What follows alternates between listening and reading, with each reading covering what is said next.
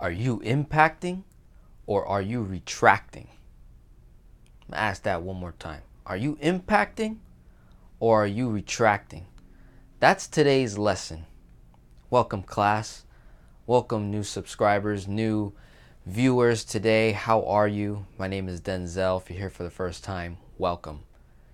Today's lesson is all about impacting and retracting, okay, in our personal finances.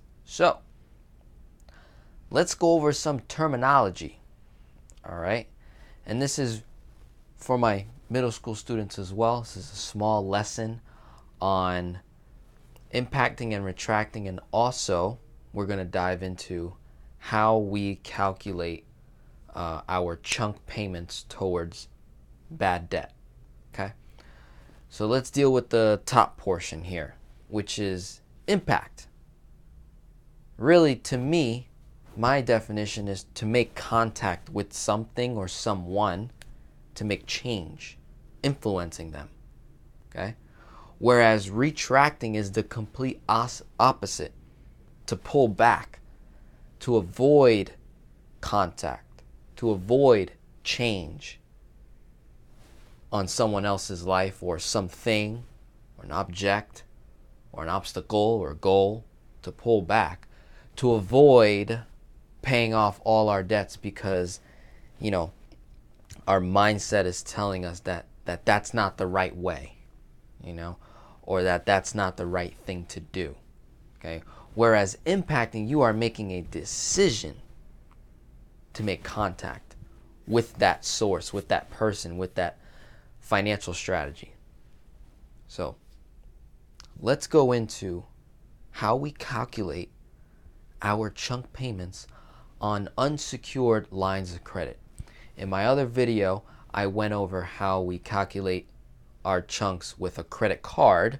Now we're going to go into unsecured lines of credit and some different ways that we can make chunk payments so that we are not risking borrowed money and not overpaying on interest costs.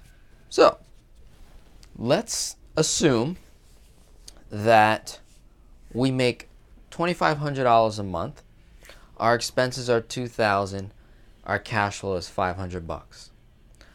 And let's assume that we have a line of credit for five grand. Okay? And we've got a debt that we need to pay off. Okay, let's say it's like over 10 grand or something like that. Okay, let's say it's a car.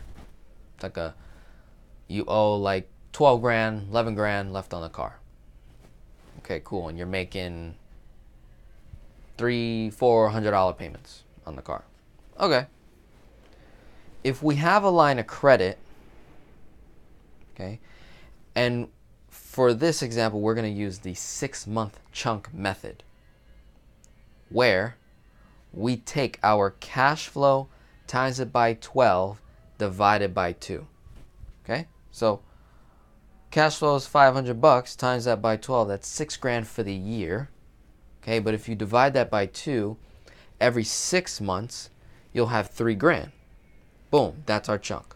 3000 which is half of our cash flow, every six months. So if you did the math, you look at a calendar from January to January, okay, 12 months. Now, the first January, we make a $3,000 chunk payment towards the car note.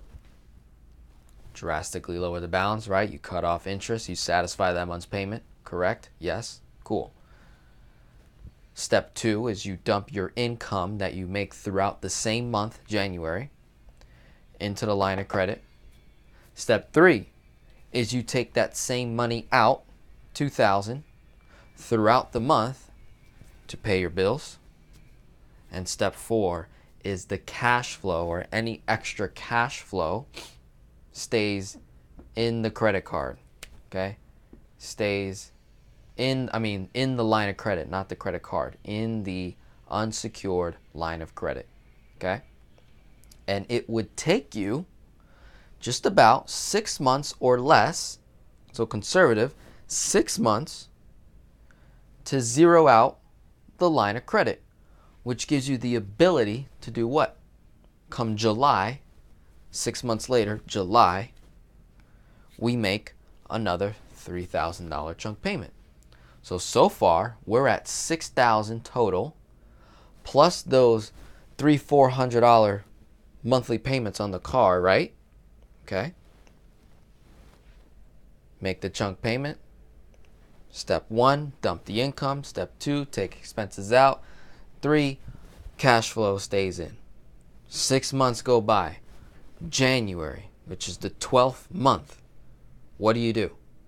You take another 3K and you make a chunk payment on the car. And let's say that car was at like 12,000, 13,000 or so. Within a year, year, right? 12 months, that car will be paid off.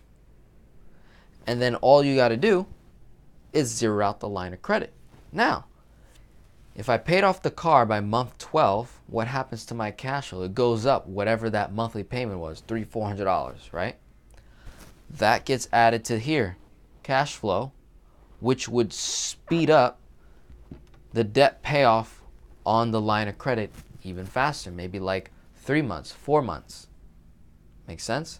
So that's the six month chunk method. And the reason why that is so effective, why I've actually been doing that more than chunking by the year, is think about if you made a $6,000 chunk, which you can't because you only have a $5,000 $5,000 line of credit, right? Let's say you want to kind of like match it up like oh what would it look like if i took out the whole five made a chunk pay it back in like maybe eight months nine months and then you know make another chunk of five you can certainly do that. That's cool. Now the only disadvantage is that you are over leveraged on the line of credit. You could be potentially paying more in interest okay on the line of credit. Now it doesn't really matter how much interest you pay on the line of credit because of the amount of interest savings on the car note itself plus the cash flow increase that we're going to get. So it's, you know, it really doesn't matter unless, you know, the line of credit is like, I don't know, like 20% interest rate or, you know, 15, like 19, 18, then then we want to make sure that we're not taking out the whole amount because that would be, like I said, over leveraging, not really the best way. So I think one of the most effective ways is you take your cash flow for the year, divide it by two, that would be your chunk every six months. And it gives you a space. You have this $2,000 cushion. Anything goes down. That's your emergency fund. That's your oh crap fund. That's your, you know, uh, something happens, you get hurt, you get injured, job loss. You got that cushion right there. It's not a big cushion, but it's a cushion, right? and that is the six month chunk method. The one below here is another common one that I, I kind of like as well, is the two thirds method or, or 66% of whatever the line of credit balance, the credit limit is.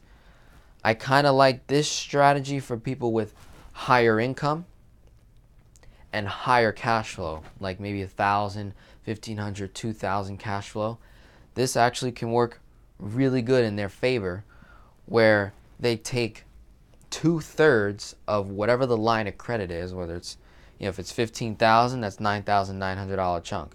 If it's 10000 that's a $6600 chunk. If it's 25000 that's like i don't know 13 14000 dollar chunk or so maybe more right? Either way you look at it you just take two-thirds make a chunk payment towards a mortgage, right? A bigger debt, or a or a big large credit card, or a, a, an auto loan, a personal loan, student loan, whatever, right? And typically, for this strategy, your cash flow is much higher, so it should take you about six months or less to zero out the line of credit to give you the ability to make the next chunk so you could be looking at a potential whatever 9,900 times 3 is or 6,600 times 3. That's you know, well over fifteen, eighteen thousand dollars going straight towards a principal that we have a debt on. Meanwhile, it only takes us like six months or less to zero out the line of credit itself because what are we doing? Dumping our entire income, taking out expenses, keeping the cash flow in, barely paying any interest on the line of credit side. Meanwhile, I'm saving thousands on the debt that I'm tackling, whichever one it may be. So, going back to the main question is we want to be able to impact our debts, take it head on.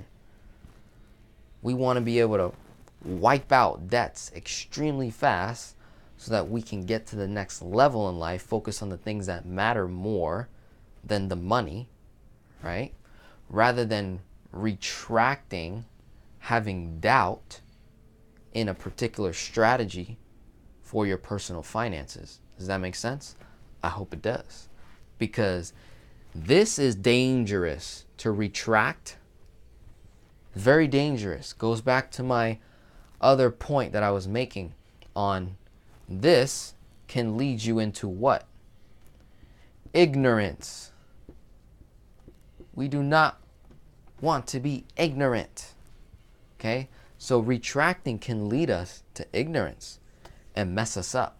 Whereas impacting can lead us to freedom.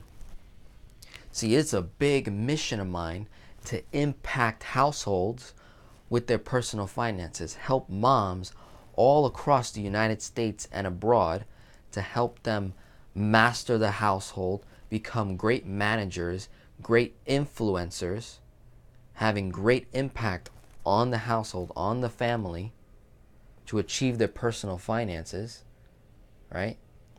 And by doing this, will allow me to create a sustainable business, a debt free business with debt free clients, giving and receiving back and forth, right?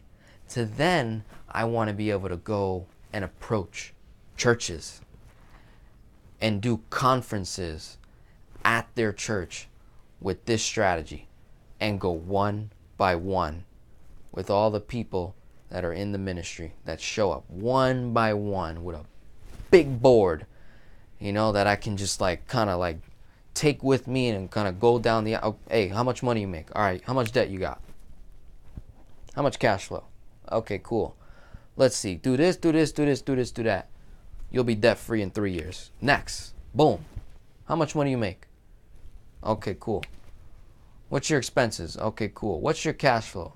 Cool. Debts? Okay, cool. You're gonna go this, this, this, this. Man, wait. Wait. Have patience. I promise you I'm gonna get to that level. But first, I need to help one person at a time. One person a day. Every single day. Giving and receiving to people. Having people join in on this mission help this channel become sustainable so it can sustain itself so we can help more people make impact on their household. So I hope you enjoyed this lesson real quick on how we calculate chunk payments and a little lesson that I'd like to throw in on impacting and retracting. My name is Denzel. You have yourself a wonderful day. I love you very much. Goodbye.